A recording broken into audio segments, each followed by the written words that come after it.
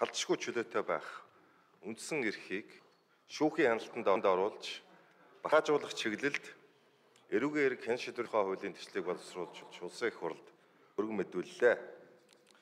Өнгөрсөн онд нэгдсэн үндэсний байгууллагын дур зоргоор суулгах асуудал иргэсэн ажлын эсхийн дүгнэлт болон энэ оны хавар улсын их хурлаас баталсан хүний эрхийн үндэсний комиссийн 22 дахь тайлан илтгэлийн мөрөөр авах арга хэмжээний тухай улсын их хурлын тогтоолыг хэрэгжүүлэх хүрээнд дээрх хуулийн төслийг боловсруулсан болно. Шүүхийн 3 жилд шүүхийн зөвшөөрөлтөй болон зөвшөөрлгүй баримтлах ажиллагаа явуулсан судалгааг 3 жилийн байдлаар авч үзэхэд нийт сэжигтнийг шүүхийн зөвшөөрлгүй баримтжилсан баримтчилгааны 60-аас дээш хувийг хойшлуулшгүй тохиолдол гэдэг үндслээр баримтжилсан байна.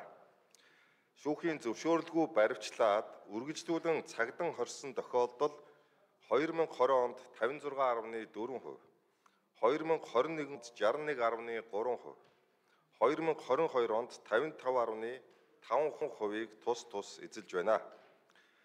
Шүү цэжигтэн шүүгчийн шүүхийн зөвшөөрлгүй баримтлах ажиллагаа 2020 20 онд 798 хийгдснээс 22.3%, 2021 онд 821 хийгдснээс 19.6% нь шүүхээр хянсан байна.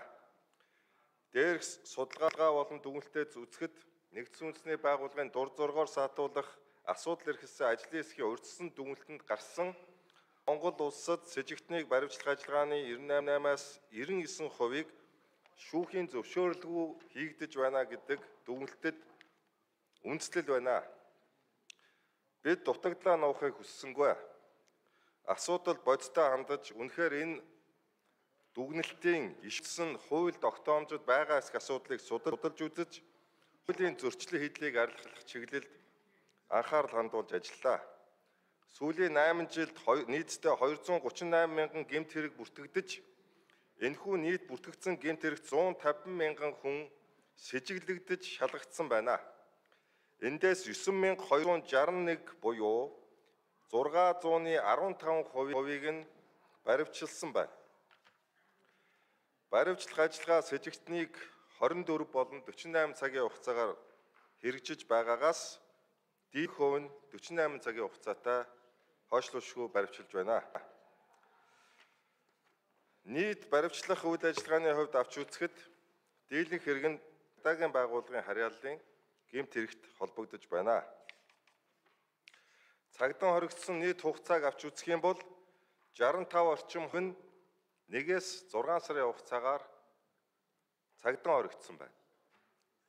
Нэгээс 3 сарын хугацаагаар 3 дутмын нэг нь цагдан хоригджоо гэдэг судалгаа сүүлийн 8 жилийн хугацаанд гарч ирж байна. Энэ дотроос хамгийн гол асуудал нь үнэхээр гэмт хэрэгт холбогдсон сэжигтэй этгээдийг цагдан хорж байгаа эсэх асуудлыг бид цагдан хоригдсон этгээдийг цаашид шүүх рүү шилжүүлж байгаа эсэх тэр судалгаанаас авч үзлээ. 2017 оны 7 сарын 1-ээс үйлчилж ирсэн эрүүгийн хэрэг хэн шийдвэрлэх тухай хуулийн үр нөлөө нэн их байна. Энэхүү хууль тогтоомж үйлчилж эхлэхээс өмнө цагдан хоригдсон 5 хүний нэгэн цаашаа шүүх рүү шилждэг байсан байна. Шүүхээр гэм буруутай эсэх нь нотлогдоогүй 5 хүний дөрвийг цагдан хорж байсан байна.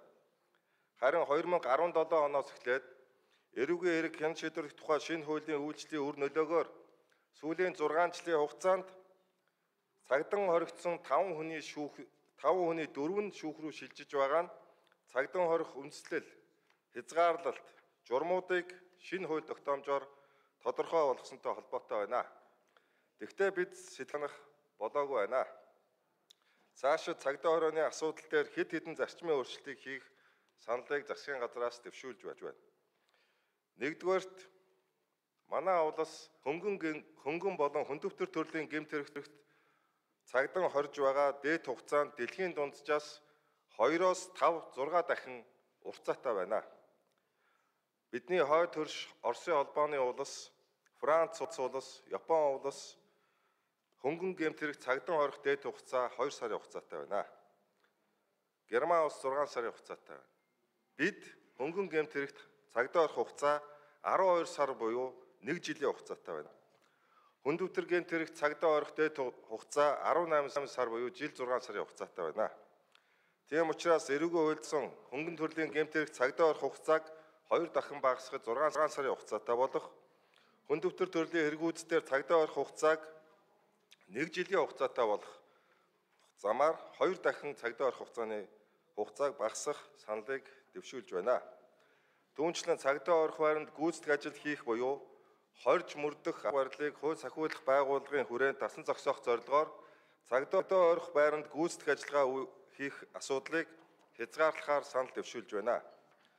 Зөвхөн хүнийг санаатаа алах, насны хүүхдийг хүчнэдэх, хүн төрөлхтний аюулгүй байдлын эсрэг, гэмт хэрэг, үндэсний аюулгүй байдлын эсрэг, гэмт хэрэг, алга албан тушаалын гэмт хэрэг, хар тамхи мансууруулах бодисыг зохион байгуулалтаагаар худалдаалах гэмт хэрэгүүдэд цагдаа хорих байранд гүйцэтгэх ажил хийж болох юмаа гэж үзэж байна. Дээрх 6 төрлийн тэргээс бусад тохиолдолд цагдаа хорих байранд гүйцэтгэх ажлын эхийг шууд хязгаарлахаар оруулж ирлээ.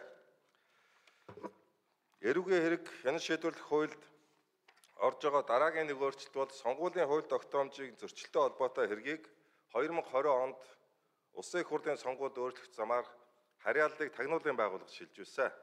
Энэ асуудлыг өмнөх хууль тогтоомжийн адил цагдаагийн байгууллага үргэлжлүүлж хэвээр хийн зүйтэй гэж үзэж байгаа.